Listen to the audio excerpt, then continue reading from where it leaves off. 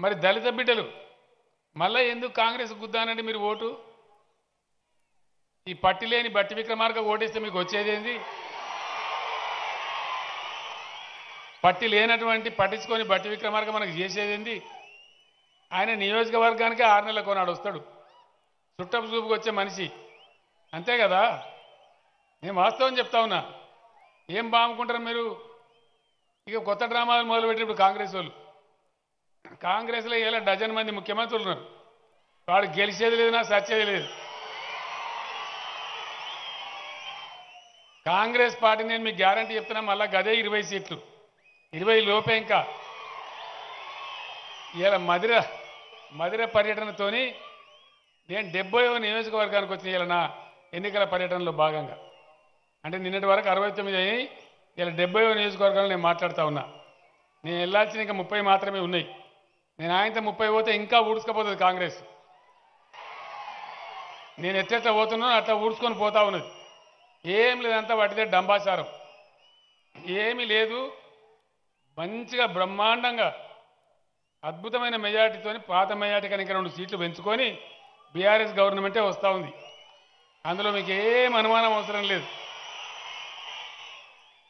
మీరు కమల్ రాజును గెలిపించుకుంటే మీకు లాభం జరుగుతుంది కానీ ఈ బట్టి విక్రమార్కతో వచ్చేది ఏంది పోయేది ఏంది? వాటిగానే మిమ్మల్ని మాయా మచ్చింద్ర చేసి నాకు ముఖ్యమంత్రి నేను ముఖ్యమంత్రి ముఖ్యమంత్రి ఎక్కడ? నాకు అర్థం కాదు నీకు పార్టీ గెలితేనా? ఎక్కడ ముఖ్యమంత్రి? ఏం కథ? అదంతా అయ్యే పని కాదు. ఈసారి నేను మధురతో పంచాయతీ పెట్టుకుంటాను నేను మనవి చేస్తా ఉన్నా. ముఖ్యంగా దళిత వర్గం ఒక్క ఓటు కూడా బట్టి విక్రమార్క పడదు నేను చెప్తా ఉన్నా. యాభై ఏళ్ళ కాంగ్రెస్లో దళితులను ఓటు బ్యాంకుగా వాడుకున్నారు తప్ప ఒక్క పని చేసిండ్రా? దళిత బంధు లాంటి పథకం తెచ్చిండ్రా? తెస్తారా వాళ్ళ జీవితంలో? వాళ్ళకి ఆలోచన ఉందా? ఇవాళ మళ్ళీ ఇంకా వాళ్ళు చెప్తున్నారు కాంగ్రెస్ గవర్నమెంట్ వస్తే ఇందిరమ్మ రాజ్యం తెస్తారట ఇందిరమ్మ రాజ్యం. ఇదివరకే అమ్మను చూడు బొమ్మను చూడు అని గుర్తుకుని మస్తుగా గుర్తుకొని ఓట్లు. ఇందిరమ్మ రాజ్యం ఏం జరిగిందండి? ఎవరు బాగుపడ్డరు? ఎవరికి ఎవరికి ఏం ఒరిగింది? ఇందిరమ్మ రాజ్యంలో మొత్తం ఎమర్జెన్సీ పెట్టి కొత్త వైపు జైలలో పారేసింది దళితులు దళితులుగానే ఉన్నారు గిరిజనులు గిరిజనులుగానే ఉన్నారు. ఏం అభివృద్ధి లేదు మన్ను కూడా లేదు. ఈ కరెంట్ రాదు. ఏమొచ్చింది ఇందిరమ్మ రాజ్యంలో? కరెంట్ వచ్చిందా? నీళ్ళు వచ్చినాయా? ఏం రాలే. మనం ఎండిపోయినాం. తెలంగాణకైతే మరీ అన్యాయం. ఈ విధంగా ఏదో ఒకటి చెప్పి స్టోరీ చెప్పి మోసం చెప్పి మార్పడ. ఏం మార్పు నాకు అర్థం కాదు. మార్పు చేయాలి నిజమైతే మరి ఈడ బట్టి మార్పు చేయాలి కదా? అగో అంతే కదా? ఇవన్నీ బట్టి కథలు చెప్పి సొలు పురాణాలు చెప్పి మిమ్మల్ని ఏమార్చే ప్రయత్నం చేస్తారు? దళిత బంధు ఇక్కడ రాళ్ళవానలు పడ్డాయి. నేను బోనకల్ మండలానికి వచ్చిన. బోనకల్లో అరవద్ బాబు కూసో. నేను బోనకల్ మండలానికి వచ్చిన. బోనకల్ మండలానికి వస్తే ఆ మక్క చేలు చూడడానికి పోయినాం. వర్షం పడి ఖరాబ్ అయింది. అది కూడా చరిత్రనే. మనకు ఏం చేసేది? పంటలు దెబ్బతింటే రాళ్ళవానలు తుఫాన్లు వచ్చి దెబ్బతింటే ఏం చేసేది? చేతులు దులుపుకునే సర్కారు ఏం చేయకపోయేది. కేంద్ర ప్రభుత్వానికి రిపోర్ట్ ఇస్తే వాడు మూడు నెలలకు వస్తే వాడు ఏదో రాకితే గీకితే పోతే ఎకరానికో మూడు వేలు పదిహేను వందలు వచ్చేది. రైతుల మీద నిజంగా సోయిన ప్రభుత్వం అయితే ఏం చేస్తుంది? ఈ కేంద్రం వద్దు వాడు అచ్చులేదు సత్తులేదు వాడితో అయ్యేది కాదు పోయేది కాదని ఆన్ ది స్పాట్ నేను డిసైడ్ చేసి పదివేల రూపాయలు ఎకరానికి ఇచ్చిన. కొంత లాభం జరగాలని. ఆ మక్క చేలలో నిలబడి ప్రకటన చేసినాం. నామా గారు నేను మేమందరం ఉన్నాం అక్కడ. చేసి తిరిగి వస్తున్నాం మేము. వస్తుండే ఒక ఇరవై ఇరవై ఐదు మంది దళిత అమ్మాయిలు పాపం ఆడబిడ్డలు కారు ఆపి నన్ను ఆపిన వాళ్ళు. నేను డ్రైవర్కి చెప్పి కారు ఆపి దిగిన. ఏమ్మా ఏం సంగతి అంటే సార్ బోనకాలకు కూడా దళిత బంధు పెట్టండి మేమంతా బ్రహ్మాండంగా మునుపట్లాగా లేం సార్ మారిపోయినామన్నారు. నేను ఒక్కటే మనవి చేస్తా ఉన్నా మీకు. మధిర ఎస్సీ నియోజకవర్గం. నేను మీ అందరికీ హామీ ఇస్తా ఉన్నా. మీరు కమల్ రాజును గెలిపియండి. మధుర మధుర నియోజకవర్గానికి ఇప్పటికే నేను బోనకల్లు ప్రకటించిన. మీరు అడిగిన ఆ రోజు అని చెప్పి. మిగిలిన మండలాలకు కూడా బోనకల్లు మొత్తం బోనకల్లు మాదిరిగా మధుర నియోజకవర్గం మొత్తం ఒకటేసారి దళిత బంధు పెట్టి హుజూరాబాద్ కరీంనగర్ హుజూరాబాద్లో ఎట్లయితే ఇరవై వేల కుటుంబాలకు ఇచ్చినామో ఈ మధుర నియోజకవర్గంలో ఎన్ని ఈ దళిత కుటుంబాలు ఉన్నాయో ప్రతి ఒక్క కుటుంబానికి ఇప్పించే బాధ్యత నేను తీసుకుంటా ఉన్నాను నేను మనవి చేస్తా దీని తర్వాత కాంగ్రెస్ నాయకులు మాట్లాడుతున్నారు. కేసీఆర్ ప్రజల పన్నులన్నీ రైతులకు రైతు బంధు ఇచ్చి వేస్ట్ చేస్తున్నాడు అని మాట్లాడుతున్నారు రైతు బంధు వేస్తానండి. వేస్తా రైతు బంధు వేస్తా రైతు బంధు ఉన్నానా? రైతు బంధు ఉంటుంది. ఎప్పుడు కమల్ రాజు గెలిస్తే ఉంటుంది. ఎందుకంటే రైతు బంధు అనే పదాన్ని పుట్టించిందే కేసీఆర్ బీఆర్ఎస్ కదా. వాళ్ళకి ఏం సోయి ఉంటుంది? వాళ్ళకి ఏం తెలుసు? వాళ్ళు మనం అప్పులు కట్టకపోతే నీటి తీరువా కట్టకపోతే మన తలుపులు కూడా విక్కపోయారు కానీ రైతుకు సపోర్ట్ చేయాలని వాళ్ళ కళలు కూడా ఆలోచించారు రా వాళ్ళ జీవితంలో. దాన్ని పుట్టించిందే కేసీఆర్. నేను మీతో మనవి చేసేది ఒకటి రైతు బంధు ఉండడం కాదు. మీరు బీఆర్ఎస్ని గెలిపిస్తే రైతు బంధు ఇలా ఎకరానికి పదివేలు ఉంది అది పదహారు వేల రూపాయలు అయితే నేను మనవి చేస్తా ఉన్నా. రెండవది పిసిసి అధ్యక్షుడు. ఆయన మాట్లాడుతున్నాడు. అసలు కేసీఆర్ వేస్ట్ చేస్తున్నాడు కరెంట్ ఇరవై నాలుగు గంటలు ఇచ్చి తప్పు చేస్తాడు కేసీఆర్. మూడు గంటలే సార్ ఉంటాడు మూడు గంటలకు పొలం పారుతుందండి? పారుతుందా? మూడు గంటలకు? ఎన్ని గంటలు ఉండాలి? వినబడతలేదు. ఇరవై నాలుగు గంటలు ఉండాలి. ఇరవై నాలుగు గంటలు ఉండాలంటారు ఒకసారి చేతులు ఎవరు దయచేసి. ఇరవై నాలుగు గంటలు ఉండాలి కదా? ఉంటుంది. కమల్ రాజు గెలిస్తే ఉంటుంది. కాంగ్రెస్ గెలిస్తే కాట గెలుస్తుంది. అంతే కదా? ఎందుకంటే వాళ్ళు ఓపెన్గా చెప్తున్నారు. మూడే గంటలు మేము ఇచ్చేది మూడే గంటలు. కర్ణాటక నుంచి ఒక ఆయన వచ్చిండు. ఆ రాష్ట్ర ఉప ముఖ్యమంత్రి ఆయన. ఆయన నాకు చెప్తున్నాడు కేసీఆర్ నీకు మా గొప్పతనం తెలుసా? మేము కర్ణాటకలో రైతులకు ఐదు గంటలు కరెంట్ ఇస్తున్నాం అన్నాడు. నేను సన్నాసి మాది ఇరవై నాలుగు గంటల రాష్ట్రంలో నువ్వేం మాట్లాడుతున్నావు? అంతే కదా? నువ్వు ఈ విధంగా ఉంటుంది. వాళ్ళు ఏమంటారు రేపు మేము చెప్పినామండి మూడే గంటలు అయినా మాకే గుద్దినరు మళ్ళీ మా బట్టి విక్రమార్కనే గెలిచిండు. కాబట్టి మూడు గంటలే అంటారు. అప్పుడేం చేయాలా? మళ్ళీ రోడ్ ఎక్కన్నా? ధర్నాలు చేయన్నా? మళ్ళీ సబ్స్టేషన్ల మీద దాడులేనా అసలు కాంగ్రెస్ రాజ్యంలో మదిరలో కరెంట్ ఎట్లుండేనండి మీకు చిల్లకలికలు వచ్చేది చిల్లకలికలు అయితే రోజు బ్రేక్ డౌనే దాన్ని మార్చిచ్చి నేనే ఇవాళ ఖమ్మం నుంచి డైరెక్ట్గా పెట్టించిన మదిరకు శాశ్వతంగా పీడ పోయింది. అంతే కదా? ఇలా నాణ్యమైన కరెంట్ వస్తూ ఉంది. నన్ను ఎవ్వరు అడగలేదు చిల్లకాలు ఉన్న మార్చమని నేనే డిపార్ట్మెంట్తో మాట్లాడి ఏ రాష్ట్రంలో ఏ కాన్స్టిట్యున్సీలో ఏ సమస్య ఉందో తెలుసుకొని ఆ సమస్య నివారణ కోసం మేమే చర్య తీసుకున్నాం. ఇవాళ మీరు ఆలోచన చేయాలి. రెండు విషయాలు చెప్పి నేను ముగిస్తా. నాకు చాలా సభలకు పోయేది ఉంది. పార్టీల చరిత్ర పార్టీల నడవడిక పార్టీల వైఖరి చూడాలని మీకు చెప్పిన. కాంగ్రెస్ రాజ్యంలో ఇచ్చిన పెన్షన్ ఎంతనండి?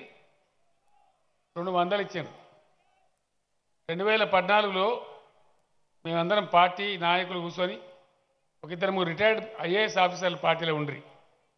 అందరిని కూర్చోబెట్టుకొని మేము మాట్లాడుతా ఉన్నాం. ఎన్నికల ప్రణాళిక రాస్తా ఉన్నాం. నేను అడిగిన పెన్షన్లు ఎందుకు ఇస్తారండి అని అడిగినాను. అసలు ఎందుకు ఇవ్వాలి ప్రభుత్వం పెన్షన్? దానికి ఏమైనా అర్థం తాత్పర్యం ఉందా? లేకపోతే తమాషాకి ఇస్తామా చెక్కల గింతలు పెట్టడానికి ఇస్తామా దేనికోసం ఇస్తామో అని అడిగినాను. మీ ఉద్దేశం ఏంటి సార్ అన్నారు. నా ఉద్దేశం ఏం లేదు. ఈ రెండు వందలు అనేది ఎవరి ముక్కులో పెడతావు దేనికి సరిపోతుంది అది? కారణం ఏంది?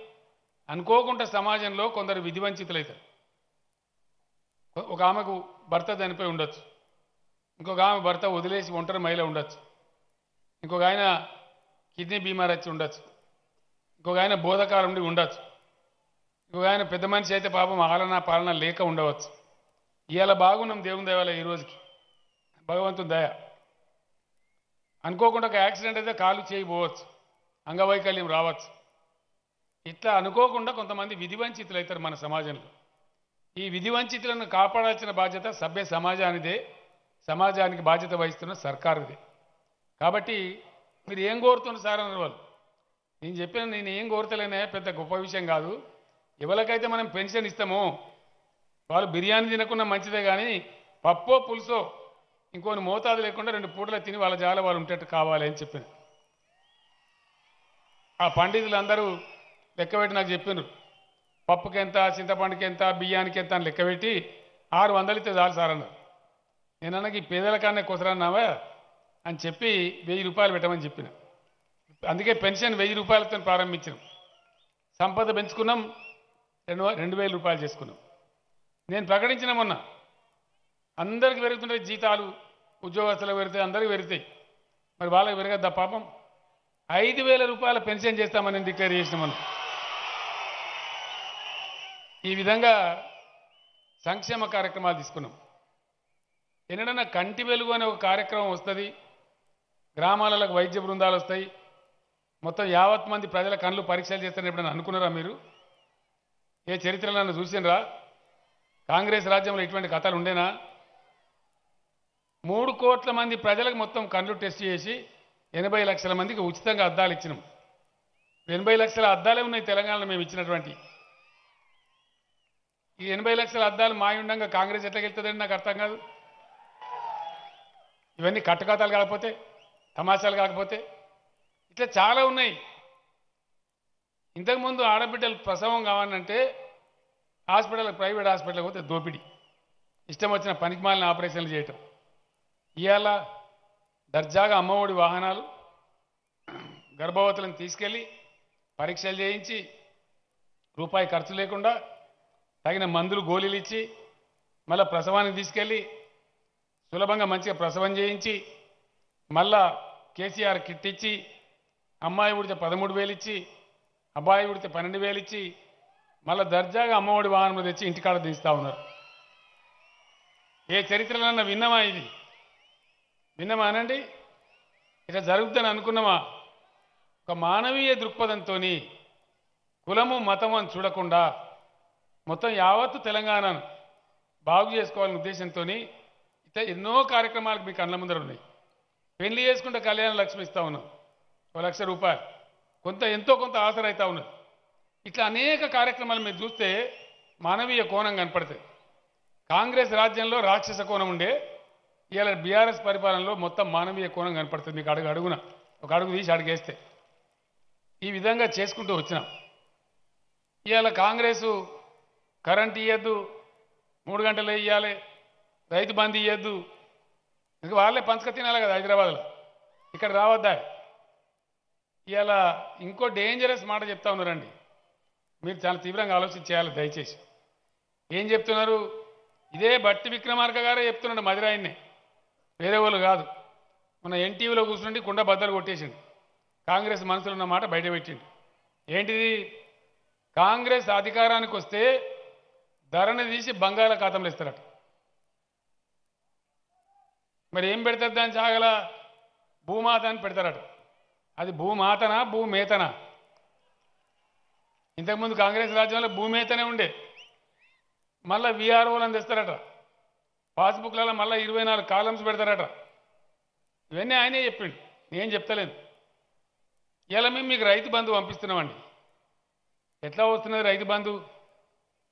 మీకు రెండు ఎకరాల ఇరవై ఒక్క గుంటలుంటే ఆ రెండు ఎకరాల ఇరవై ఒక్క గుంటలకు అక్కడ మేము డబ్బులు విడుదల చేస్తున్నాం.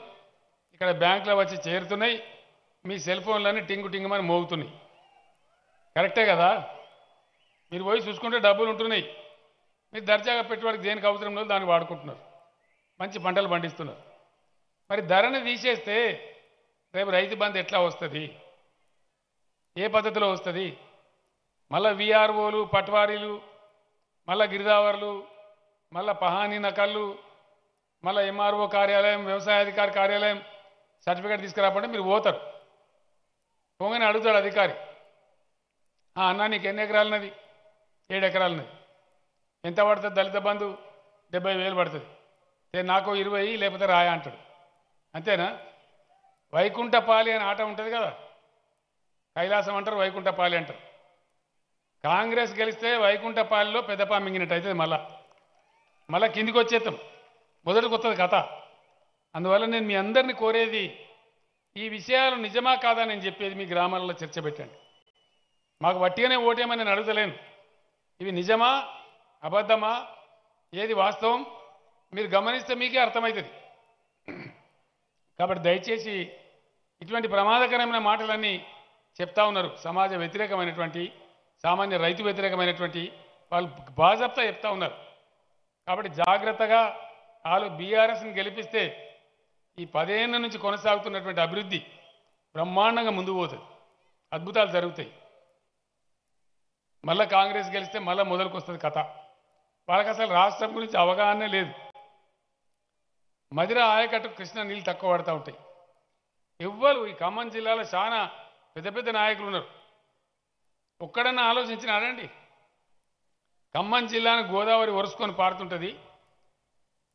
లక్షల క్యూసెక్ల నీళ్ళు ప్రతిరోజు పోతూ ఉంటాయి దుమ్ముగూడెం దగ్గర. తాను ఎత్తుకోవాలి ఖమ్మం పోసుకోవాలని వాడిని ఆలోచన చేసిండా? సీతారామ ప్రాజెక్టు అయిపోతా ఉంది దగ్గరకు వచ్చింది. ఏడెనిమిది మాసాలలో కంప్లీట్ అవుతుంది. ఒకసారి సీతారామ ప్రాజెక్ట్ కంప్లీట్ అయితే అది పాలేరు రిజర్వాయర్కి లింక్ అవుతా ఉంది. శాశ్వత ముప్పై ఏడు టీఎంసీల నీళ్ళ సీతమ్మ సాగర్ వస్తూ ఉంది అక్కడ. ఒకసారి సీతమ్మ సాగర్ అయిపోతే మధిర నియోజకవర్గం వైపు కరువు అనేది తిరిగి కూడా చూడదు మనకి మళ్ళీ కూడా చూడదు. మూడు వందల అరవై ఐదు రోజులు నిండా నీళ్ళే ఉంటాయి అద్భుతాలు జరుగుతాయి. కాబట్టి దయచేసి ఇంత మంచి ప్రణాళికలతో ముందుకోయే బీఆర్ఎస్ను ఓడగొట్టుకుంటే ఈ పట్టి లేని బట్టి విక్రమార్కను గెలిపిస్తే వచ్చేదేమి లేదు. మీరు ఈసారి ఈసారి మాత్రం మధుర వాళ్ళతో నేను పంచాయతీ పెట్టుకుంటా. మాకు రెండుసార్లు ఓడగొట్టినా మేము అలగలే మీ మీద.